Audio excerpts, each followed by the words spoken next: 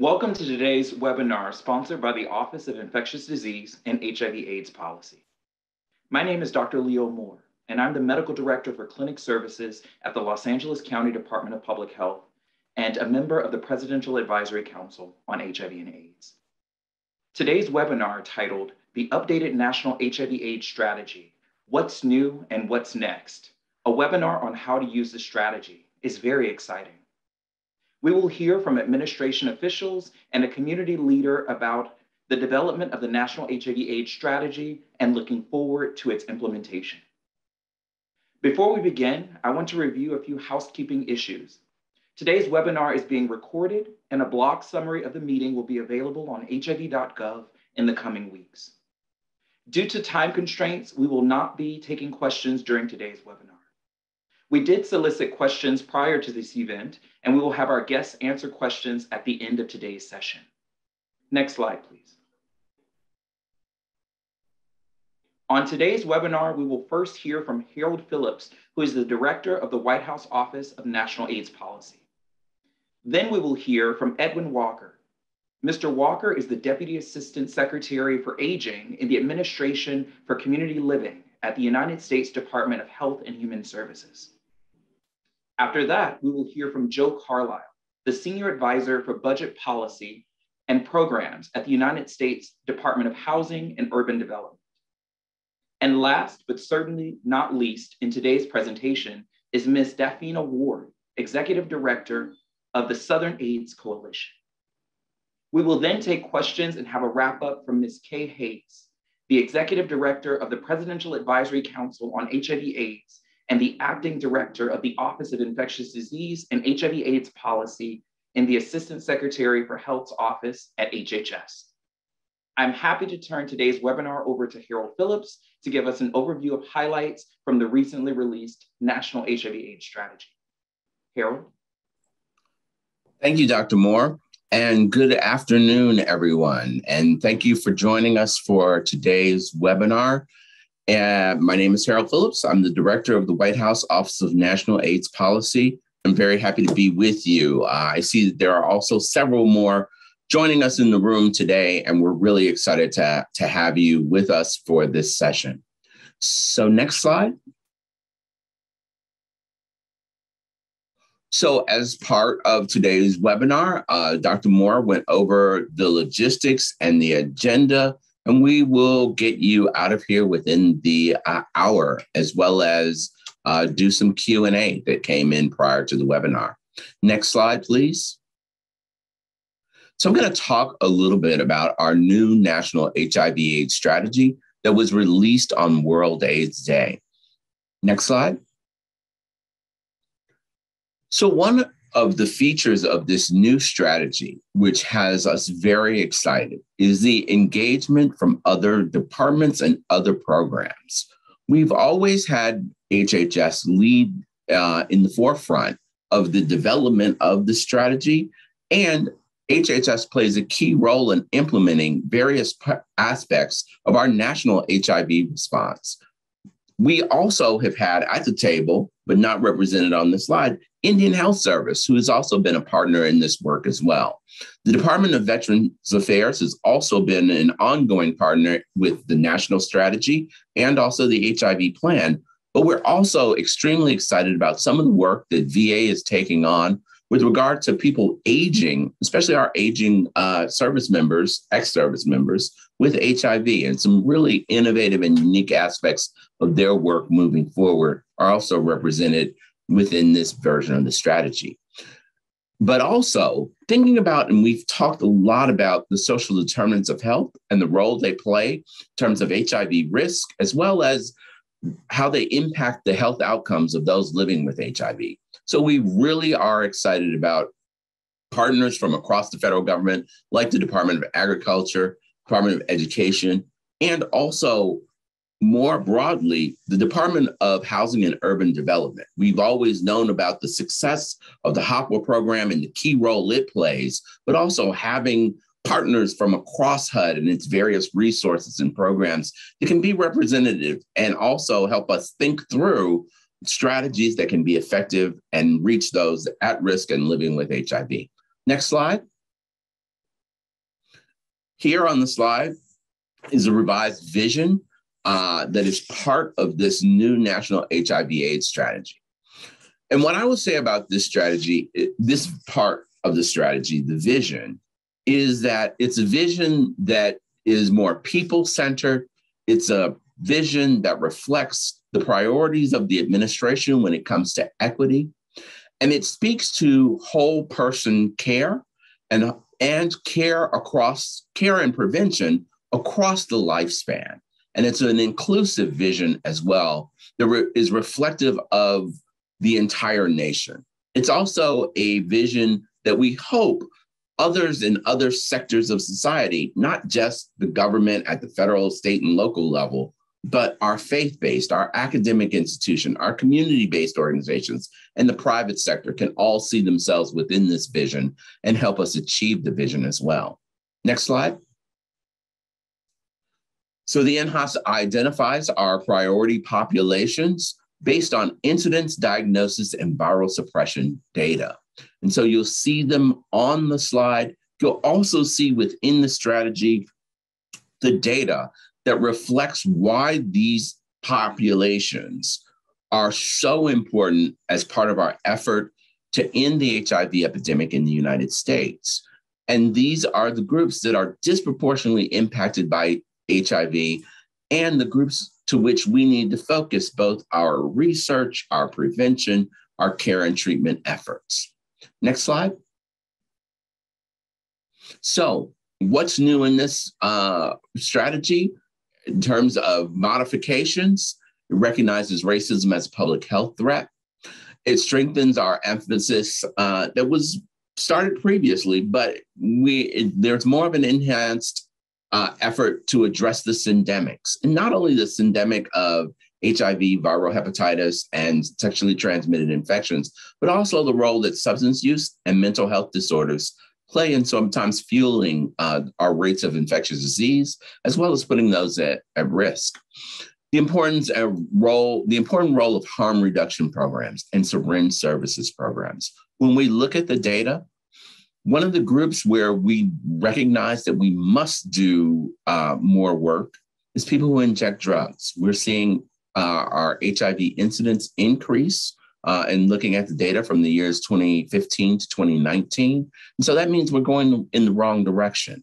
And there are a lot of factors that are contributing to this, both the ongoing opioid crisis, uh, increased injection meth use by MSM, and also the fact that access to syringe services programs and harm reduction has been very limited.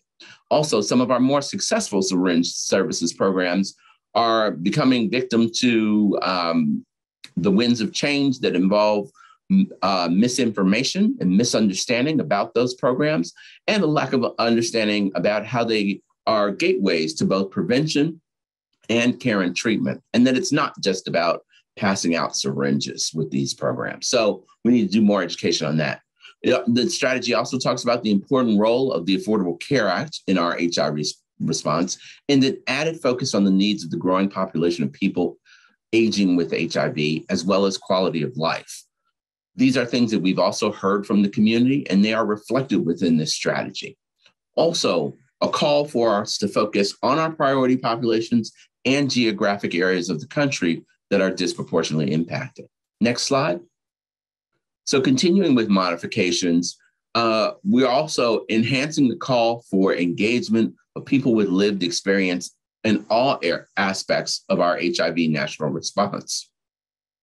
Uh, and, uh, and also, there are populations where we don't have the national surveillance data or the incidence uh, is not incidence and viral suppression doesn't lead to uh, disparities, but these populations that are mentioned within the plan have unique circumstances that we must continue to work toward understanding and adjusting our service delivery systems for prevention, testing, and treatment to address the needs of these specific populations that are mentioned in the plan.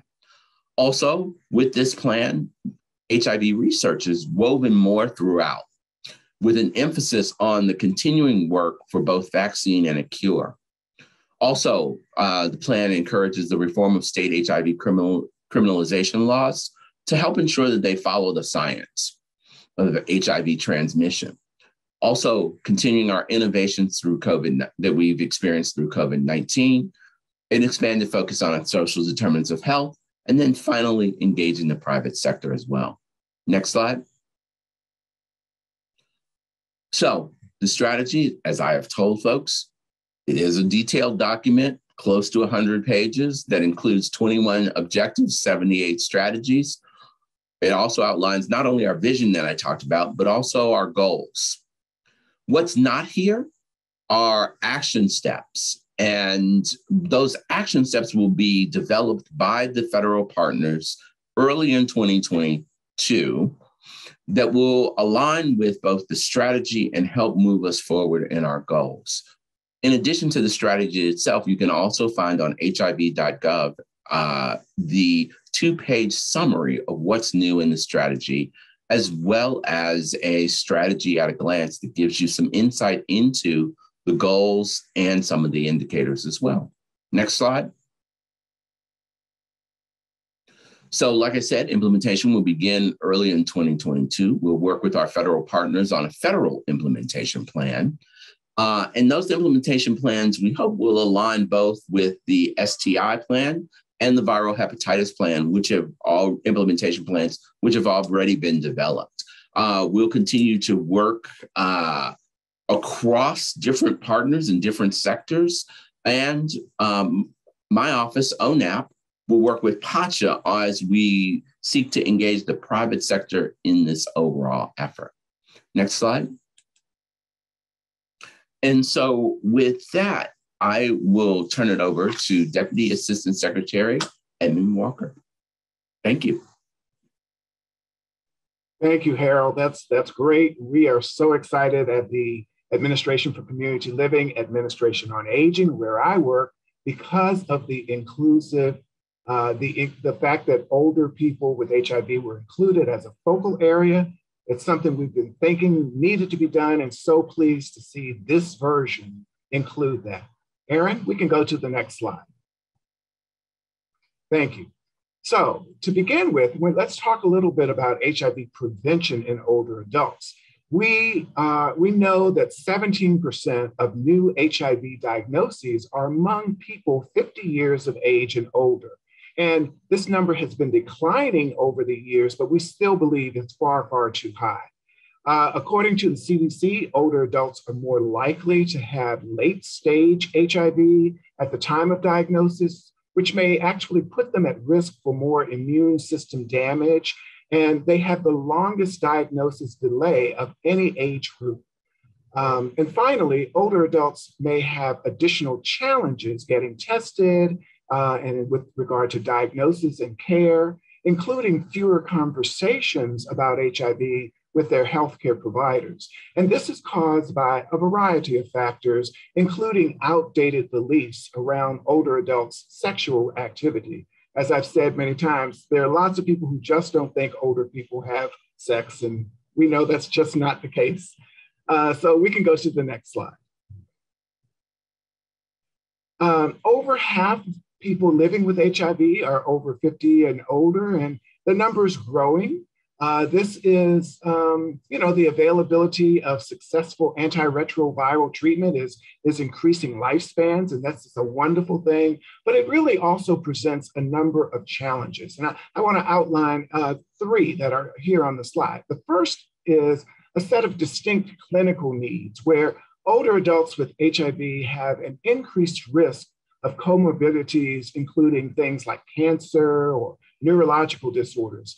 They exhibit, uh, for instance, geriatric related conditions earlier than their HIV negative peers. And research finds that older people with HIV have significantly higher rates of depression and anxiety and substance misuse.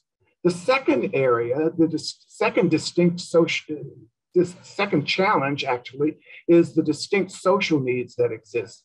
And they result from the pervasive stigma and the lack of knowledge surrounding HIV, which can really lead to uh, feelings of isolation. And we know of the impact of isolation on the health of older individuals. Um, the, the, the increased burden of ageism uh, on top of racism and homophobia and transphobia, for example, for example, uh, is, a, is a challenge. And the trauma of long-term survivors su- surrounding the early days of the epidemic prior to antiretroviral treatment when the disease was deemed to be fatal. And many community members died and survivors were, were ostracized quite often. Um, there's also the potential lack of natural supports for this population, such as the lack of children or extended family members. And finally, there's the HIV competent services and a service disconnect because let's, as an example, are, are geriatricians really prepared to meet the needs of people with HIV? And conversely, are infectious disease doctors prepared to meet the needs of older adults? Next slide. Wanted to talk just a little bit about the work that ACL has been doing uh, with regard to a- aging and HIV. And uh, we're really focused on collaborations. And the best example we have is with our sister agency, the Health Resources and Services Administration, particularly with their Ryan White HIV AIDS Bureau, where they are also targeting older individuals uh, with HIV. And, and so what we've done there is we've collaborated with them. We really wanted to bring our respective networks together. And so we've set up a series of training webinars for the respective networks in the aging field and in the Ryan White field. And we have started holding those um, webinars for purposes of building relationships among the various network partners so that they can effectively, at the state and at the local level, serve people who are aging with HIV. Uh, we at the Administration for Community Living have already presented our network to the uh, Ryan White Network. And uh, in the upcoming months, we're looking at January or early February, we will be hearing from the HRSA HIV Ryan White HIV AIDS Bureau as they present to the Aging Services Network. And it's really so that they can connect and, and learn who they are within their respective communities, share resources, share information, share best practices. And so we're just thrilled about that. Another key collaboration is that we were a steering committee member with regard to the development of the White House National HIV AIDS Strategic Plan, which Harold, thank you for releasing on World AIDS Day. And, you know, uh, ACL provided input on, on the coordinated federal response to, to ending H, the HIV, HIV epidemic and to ensure that older adults were included. And uh, as I said before, we're so pleased that that, that was the case. Uh, and third, we have been actively participating in the Federal HIV AIDS Web Council, and there, we, it's a regular convening of federal communications and subject matter experts throughout government, all focused on improving the delivery of HIV and AIDS prevention, testing, and treatment messages and services through a variety of new media. Next slide. An additional thing that we've done at the Administration for Community Living Administration on Aging is we fund uh, 56 states and territories with regard to providing services under the Older Americans Act, services that are designed to support the needs of older individuals in the community. The design is, and the purpose is to enhance their quality of life, enhance their health, uh, help them to remain independent, to live with dignity, and um, while all older people over the age of 60 are eligible to participate, the programs are targeted to those in greatest social and economic need.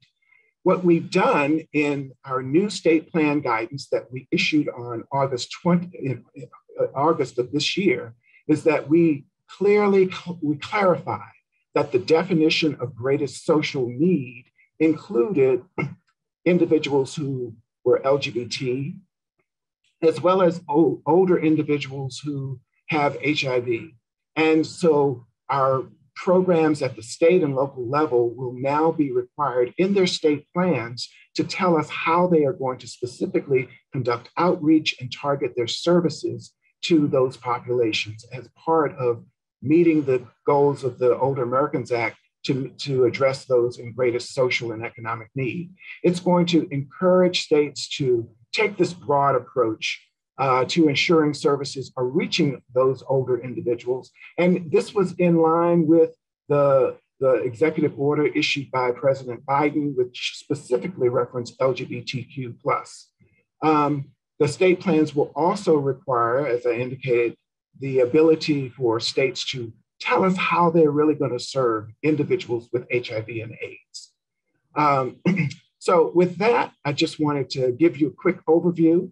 I wanted to thank you again for this opportunity. And now I'm going to pass the presentation along to our colleague from HUD, Joe, Joe Carlisle. Next slide, Aaron. Uh, thank you so much, Edwin. Um, and thank you, Harold, uh, for all the work you've done on the strategy. Uh, HUD is very excited to be uh, an adult participant in the strategy. For, for many, many years, uh, HUD has been kind of relegated to the housing opportunities with people with AIDS program. But I think we can all agree that uh, housing is central to ending HIV and AIDS in the United States.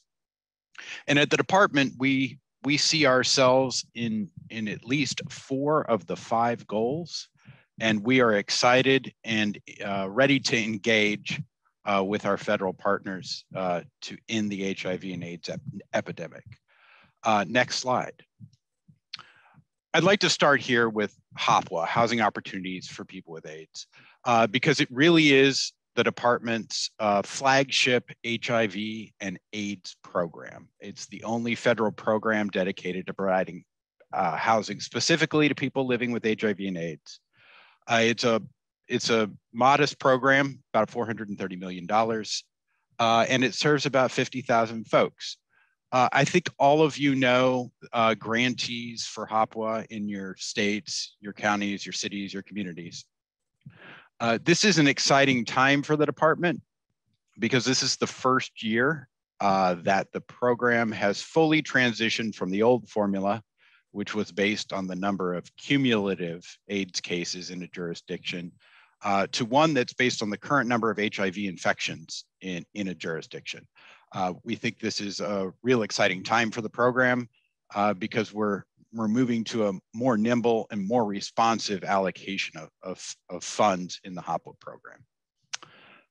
And for years, uh, this is this has been a, a, a five-year transition from the old formula to the new formula. So I know a lot of folks have some anxiety, uh, but uh, by and large, I, I think it's going to put the program on a more nimble footing. Uh, next slide. Uh, one of the things that we're very excited about is the uh, is, is looking at the programs that are across the entire Department of Housing and Urban Development and how those programs can be a full and active participant in ending HIV and AIDS in the United States. Uh, on this slide, I think you could see uh, we have a lot of programs where there's definite connections uh, where we serve people living with HIV and AIDS and also serve folks who are at risk of contracting HIV or and and the numbers difference is staggering. Uh, if you if you recall in the prior slide, we talked about HOPWA providing housing assistance to about 50,000 folks. Uh, in our public housing and housing choice voucher programs, there's you know 3.4 million folks who are in those programs. Uh, in a given year, uh, homeless assistance grants for 750,000 uh, unique individuals. And our housing for the elderly program serves over 100,000. So each of those programs are multiples of the size of the HOPWA program. And we at the department believe that we need to get uh, HOPWA what it needs in terms of, of, of resourcing, as well as leveraging the resources that we get in other HUD programs um, to think about how we can leverage those funds and those programs as a platform to end HIV. I want to talk about some, some kind of key steps that the department is taking in deepening our connections to these programs. Uh, first off, we need to start um, rolling out some education to the, the department, the cylinders of the department, and our grantees about what the HIV epidemic looks like in 2021. I think for a lot of folks in this this space in particular, they last engaged with the, the epidemic in the 90s and maybe lost track of it. But things have changed. There are exciting advancements in, in, in medicine, uh, in prevention, that many of our tenants and otherwise assisted individuals in our programs would qualify for and benefit from. But if our service partners, our public housing authorities, and our other housing providers aren't aware of what exists in the world, uh, there's no way they're going to know to offer that to a tenant or somebody who might benefit from an intervention. Second, um, because we've really kind of kept uh, HIV and AIDS prevention treatment thinking in the department to the HOPWA office, we need to do a lot of work with our providers about stigma and uh, building trust and being trauma informed when they when they start dealing with the subject of HIV and AIDS. I think there's you know it's a it's a emotionally expensive activity to merely ask the question, "Are you HIV positive?"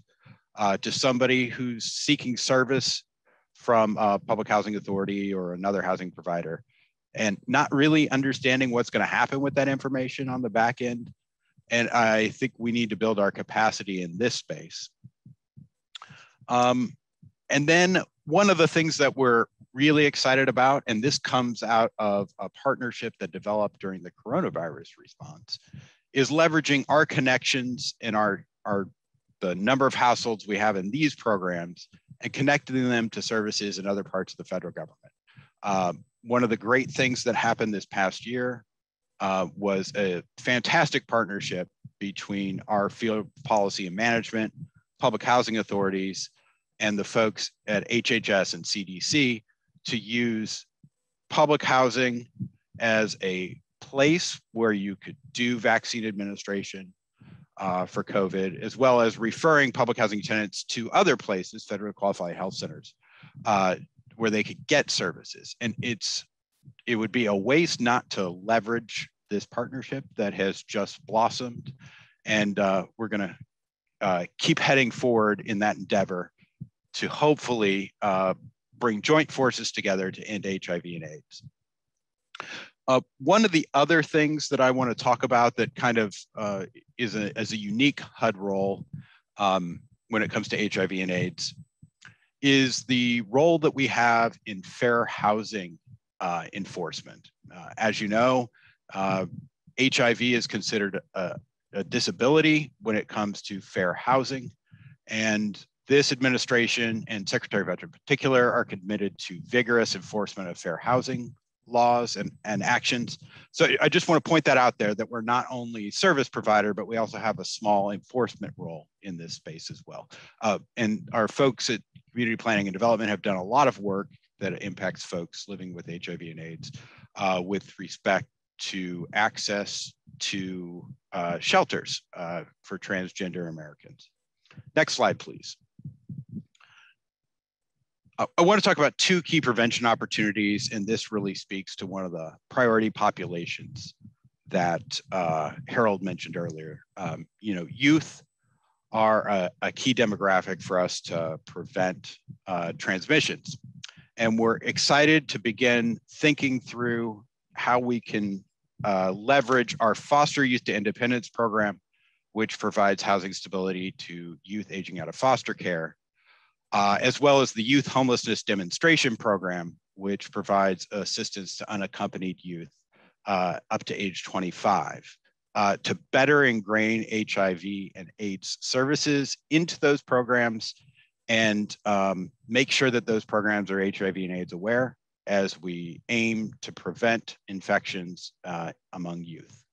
Uh, more to come on this, this exciting development, but we're really excited to be part of this and I thought we'd just share our enthusiasm with you all.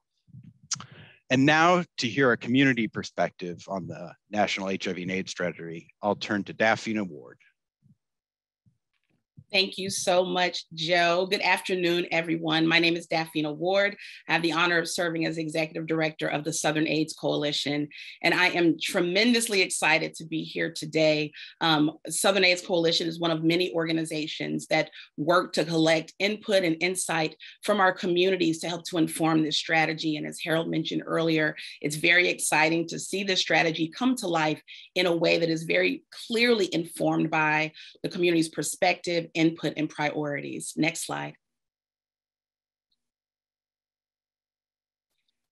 So because I'm here to talk about community implementation and what this can look like for us as we take this nearly 100 page document, these four large goals with 21 objectives and 78 strategies, and try to process this and think of what this looks like um, in the places where we live and we work. Um, and, you know, my mom used to always say, and she still tells me, to work your part of the garden and focus on just that and everything will be fine.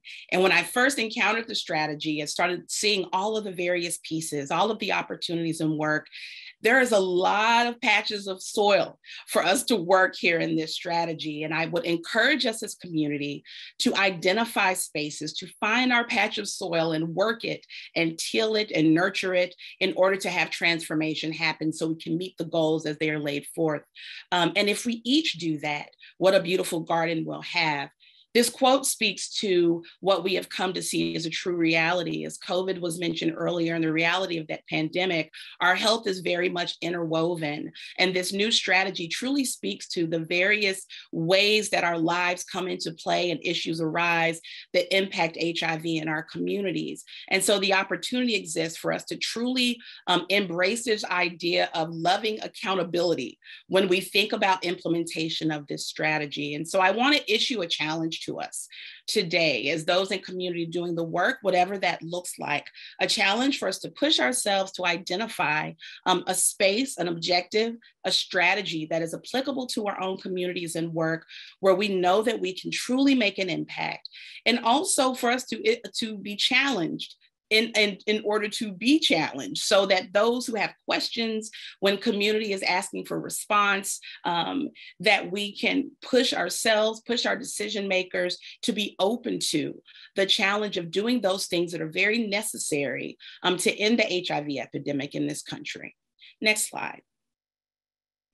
First, I want to remind us that we have experience, that our communities have utilized national HIV strategic plans in the past, and that there is an opportunity here. A survey that we administered over the summer with nearly 200 Southerners showed that folks have utilized these national strategic plans for TA and training to build partnerships and for advocacy opportunities. And so we'll continue to do that in this new strategic plan. And it's also an opportunity for us to think more broadly around how we even do these three things and more. Next slide. I encourage us to ask ourselves some questions as you're looking at the plan and assessing how um, this national focus, how it can be um, overlaid through the lens of with your own communities at a local, regional, or state level. What do private and public community partnerships look like in your community? Are funding and resources being equitably distributed to community rooted and community led efforts? And so we need to lead by convening. What does it look like to have conversations and bring folks into a space where we are expanding our table and truly addressing those things that must be addressed in order for us to um, truly have some impact and success in meeting up the goals? Applying a no wrong door approach is noted in the strategy. And we also have to assess whether or not we're the wrong door and what is it that we need to change within our practices and our policies in order to address that. Engaging the communities that we support um, on the front end of things, creating space for education, feedback, the sharing of personal stories related to the strategy, hear from our communities, those who are receiving services, those living with and impacted by HIV, truly hearing and listening to how those things that are noted in the strategy are showing up in their lives, not making assumptions and presumptions about how things should be implemented without true community input, community buy in um, utilizing advisory groups in a new way. truly creating space that is not just about getting folks to sign off on ideas, but allowing the building and development of intersectional approaches that are community driven and community led and creating mechanisms by which in order to measure progress or opportunities to improve upon how we reach goals and towards being in alignment with the strategy. Next slide. Additionally, we should look at the model that's being set forth here at the federal level and look at how we apply that in our local communities who needs to be brought to the table to have these conversations in order for things to move forward, in order for us to grow? How do we model implementation that actually looks at having intersectional approaches that would add chairs, so, not about replacing who's at the table, but about recognizing the need to bring in a true social justice lens through the folks who are actually doing the work on the ground in your community. Being open to providing the education um, to your policymakers and people in your community about HIV. Using a language justice approach in all of the work that we do, and recognizing the necessity of creating space that is open, to learning and sharing and growth in order for us to truly address the full range of issues that are addressed in the strategy. Transparency, as we're talking about looking at the indicators in the strategy and how they apply in our own communities, being transparent and how we address that. Um, and also, this goes back to the accountability that I spoke of earlier.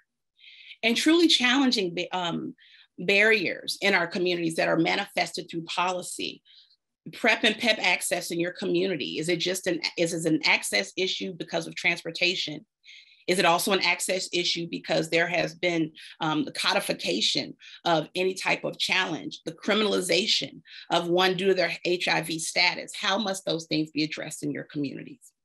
And my final challenge would be to funders to be engaged, being open to the engagement, as is noted by one of our participants in a focus group, as we were asking questions about what should be in the strategy.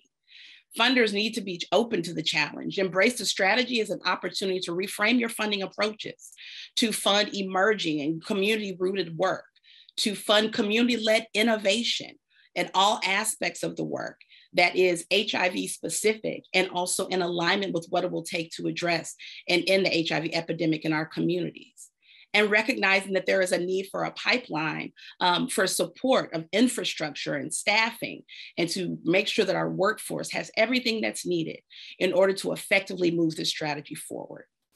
And recognizing that health equity is much broader than we may have thought in the past, and acknowledging the various ways that inequity shows up.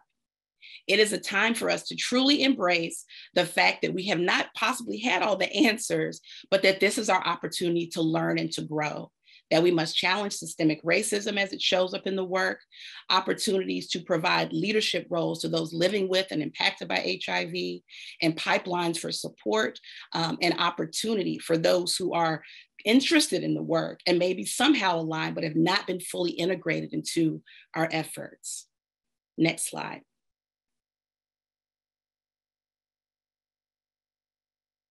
I love this quote um, from a meeting where I heard Michelle Singer share this and feel like this is the driving force of what we should think about as we are a community of advocates and those in this work, um, healthcare providers, those living with and impacted by HIV, that we have to make this, use this plan to make the invisible visible that this plan, this strategy, unlike those in the past, truly calls in the range of things that lead to the dispropor- disproportionate impact of HIV on our communities. So let's commit to using this plan to make the invisible visible and to give voice to those um, who may have been previously unable to be at the table to be a part of these conversations. Um, we may have failed to address issues in the past, and this is our opportunity and a path forward, and we are just beginning. Thank you. Um, now we will turn it over to Dr. Moore for question and answer. Awesome. Thank you so much, Dafina. And thank you to all of our panelists. Uh, this is truly an exciting time in HIV prevention, treatment, and care. Uh, so as Dafina mentioned, we will start with our questions. My first question is for Harold. Harold, we received a question about how the NHAS and the ending the HIV epidemic in the United States are related. How do you anticipate the NHAS being implemented both in geographic areas that receive EHE funding and in those that do not? Thanks, Dr. Moore. And that's a really great question. And it's a question that I frequently receive. Um, the Ending the HIV Epidemic Initiative, for those 57 jurisdictions that actually that receive direct funding to engage in additional activities focusing on the four pillars of EHE. Those are the areas of the country where we have both a disproportionate number of HIV cases, and we also uh, have those seven rural states and also the other 48 counties, including DC and San Juan, that contribute to greater than 50% of the new HIV incidents in the country. That's not to say that the rest of the country, because the rest of the country is still experiencing HIV we still have a need to focus on priority populations in those other parts of the country. So the national strategy covers the entire country. And the EHE initiative is a subset of the national strategy that is led by HHS and, and focuses on areas of the country where we have some catch up work to do. Based on the HIV incidence in those, those areas, and the disproportionate impact on priority populations, we're giving those areas of the country some extra funding to do this work. But the entire nation needs to be about the business of trying to end the HIV epidemic by the year 2030. So hopefully that helps you understand a little bit about how they're related and complementary. And many of the activities in EHE, we're still funding with through our regular appropriations and we still continue to work to ensure that we are paying attention to the rest of the country and monitoring and also responding appropriately and changing our system so that we can continue to do the work that needs to be done. Well said, Harold. Thank you. Next, we'll move on to Joe. Joe, as we all know, safe and stable housing is critical for both HIV prevention and care and treatment. So it's very exciting to see HUD at the HIV table in a way that includes HOPWA and other housing programs. I know the implementation phase will begin in early 2022, but could you talk about some of the areas you think partners on the ground should be thinking about as they're working on implementing innovative housing programs in their jurisdictions? Uh, thank you, Dr. Moore. And for everybody, I'm going to pre apologize because it says my network connection is unstable. So if I look janky, uh, I apologize. Um, I think there's a, a lot of work that can be done uh, in communities today around HIV, AIDS, and housing. Um, for instance, there, there are resources appropriated every year uh, for both HOPWA and other HUD programs. And I think if you don't have uh, strong linkages built uh, with those housing providers in your, your communities, uh, you, you, you might want to introduce yourselves. Um, because between both the base budget year resources and the anticipated resources that are around the corner in the Build Back Better Act, um, this is this is going to be a great time for, for housing. I mean, it's kind of a new day in America, and I think part of it is to just um, get folks to think about being HIV aware, that folks exist in the communities, that folks need housing, that folks want housing, uh, that's the the first first step. And then i think it's a real articulation of of what kind of housing you need. Because uh, we have a we have a range. We have a diverse continuum of housing resources that are available from things that are just um, affordable rents all the way up to something that has a lot more supportive services and i think an inventory of what types of housing um, you and the people you serve are looking for is really crucial and then as we move forward towards implementation, I think we could take those ideas and those parameters and, and begin to make those a little more concrete and, and really change the trajectory of uh, the scope of housing in America. Thank you, Doctor. Great. Thanks, Joe. Now let's turn to Dafina. Dafina, as we're all aware, HIV and related stigmas play a significant role in the HIV epidemic. How do you think communities can use this new strategy to accelerate efforts to combat HIV related stigma? Hmm.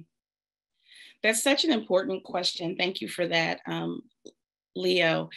You know, I think that one of the things that we have to consider is the fact that so often things that are most stigmatizing um, we may not even realizing are occurring in places where we're supposed to be providing care and services. And so I think it's truly about one, um, hearing from clients and those receiving services and providing space, as I mentioned earlier, to actually hear about those experiences and how those and how those experiences can be doing further harm or improving someone's experience into dealing with their HIV.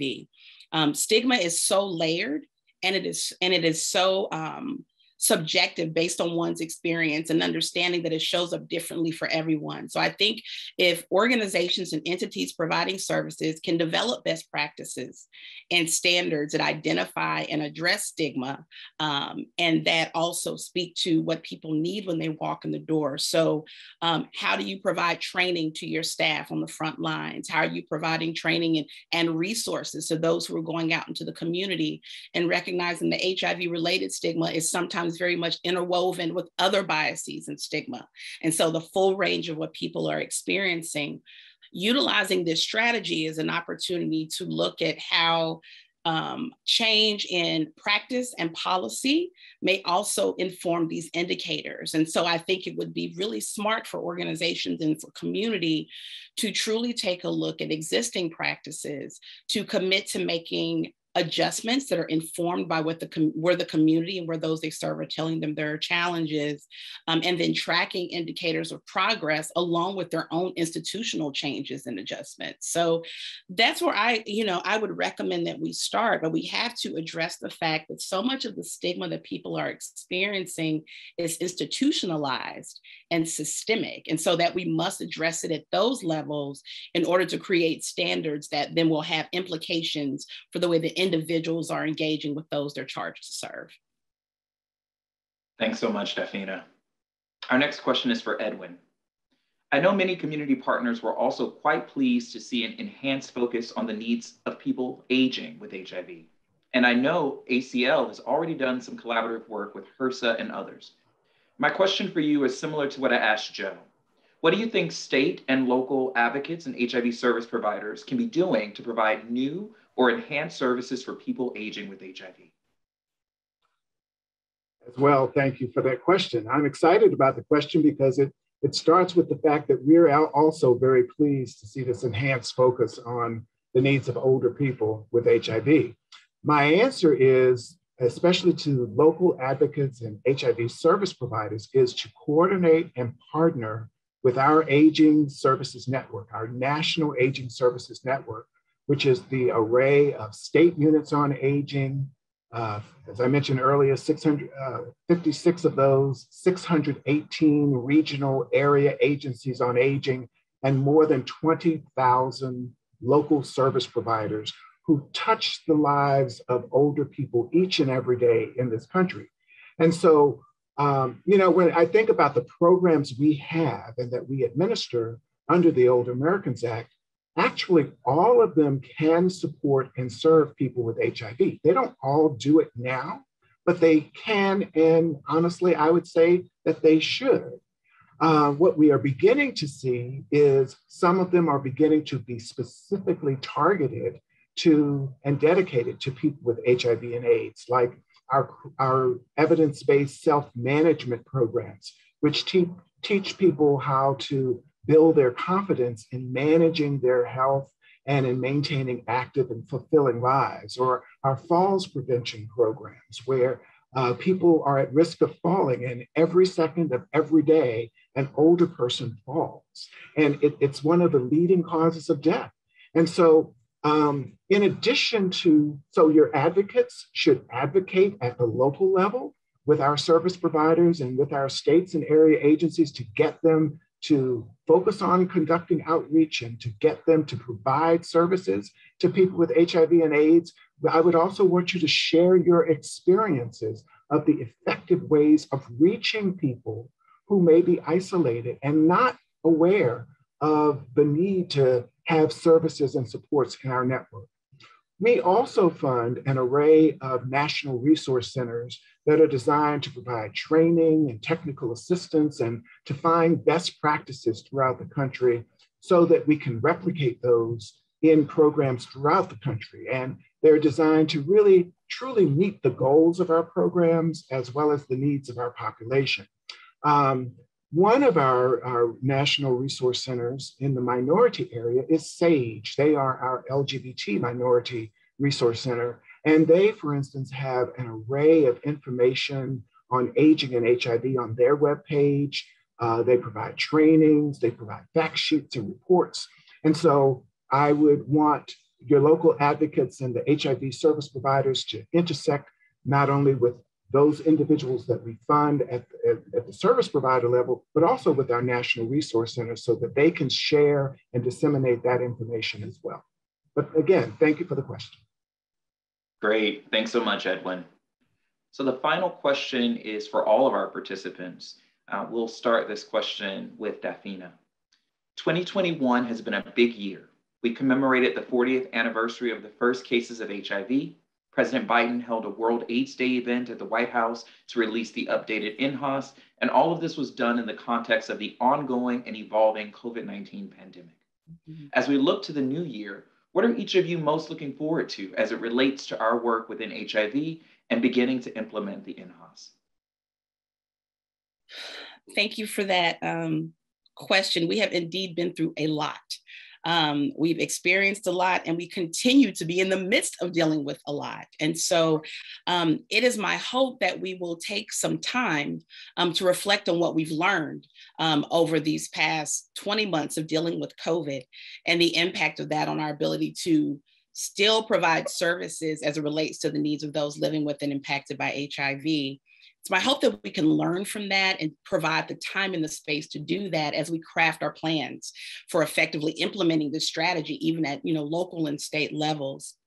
Um, it's my hope also, you know, feeling so re energized, all the great things that you noted that have happened, showing the administration's commitment um, to addressing HIV it's my hope that we truly take that um, and we hold on to that energy as we go into 2022 and the implementation of this plan, um, recognizing that there are going to be a lot of challenges, that there's going to be a lot um, a lot of discomfort as we talk about bringing in issues around racism, um, the fact that we need to effectively address the needs of all communities impacted by HIV, that we have to do a better job of centering the needs of persons who are um, p- persons who inject drugs, that there is discomfort and there's this chaos that happens when you're bringing you new components and new elements. So I'm really kind of excited about the mess we're going to make in doing our work better.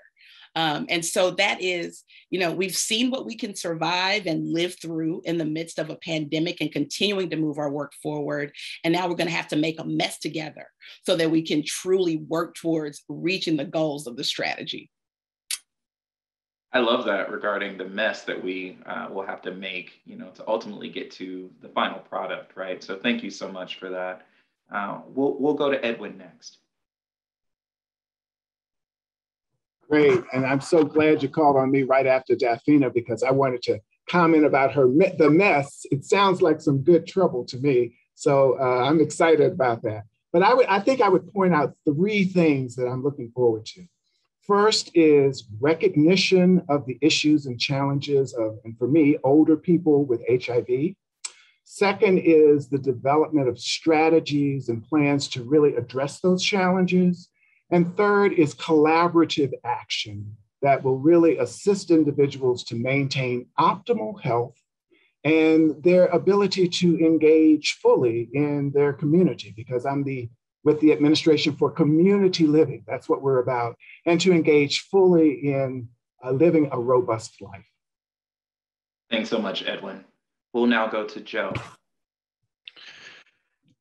I'm going to sound like a broken record here, but uh, it's the the collaborations that I'm most excited about. Uh, there are a lot of people in a lot of rooms together and a lot of meetings together who typically don't talk to one another, and that's uh, one of the benefits from uh, COVID-19. It's put a lot of federal partners together in the same room to think about their programs at the same time, and I think uh, leveraging that to uh, realize the strategy is, is something I'm looking forward to. Thanks, Joe. And last but not least, Harold. So for me, I think I'm looking forward to um, really taking a look at several things that are within the strategy and thinking about how we, which policy levers do we pull from sort of the ONAP White House perspective to help facilitate implementation. So the president on World AIDS Day talked about the need to eliminate and revise HIV criminalization laws that get in the way of our goals. So I'm looking forward to working with state and local activists who are involved in this work to figure out from the federal level how can we help support those efforts. I'm also looking at uh, and looking forward to figuring out how do we better target federal resources to those communities most at need as part of pulling the policy levers to be able to do this work. And then finally, for, for us at this level, really uh, taking a deep dive into private sector engagement. Uh, we have some great examples, and I'm not just talking about our pharma partners who've done some work in this area, but I'm also talking about tech and communications and the commercial sector, our local businesses uh, who also have uh, tentacles in in the minority communities. And at a time when we're talking about equity across the nation, uh, many of those have a stake in our success as well. So how do we leverage that to help us in our overall goals? That's my 2022. Great, thanks, Harold. And thank you all so much for such amazing presentations and answers to the questions we received. It was my honor to serve as facilitator for this important conversation. To end today's webinar, I'd like to turn it to Kaye Hayes. Kaye? Thank you, Dr. Moore, and thank you to the panel. Just outstanding. And thanks to our participants today. OIDP is very excited to host today's webinar to really spotlight the recently released National HIV AIDS Strategy and really bring it to the community level. As we talk about 2022, I am most excited to continue our work with the OIDP team, but our partners. And you know, you hear talk about whole of society, community, it is all of us. We definitely have to all do this together. We continue to work and to innovate and accelerate our efforts to end the HIV epidemic. We know we have the tools to end the epidemic. And we know we have the Ending the HIV AIDS initiative and the strategy that call upon us to be re energized. And I am by listening to this panel today and really strengthen that partnership of a whole of community, whole of society approach. I have every confidence that those participating here today and our colleagues, our partners, our communities, everyone in this whole of government, whole of community uh, approach will be that successful. For more information about our Ending the HIV Epidemic in the US Initiative and the national strategy and more information, I always encourage you to go to our hiv.gov website.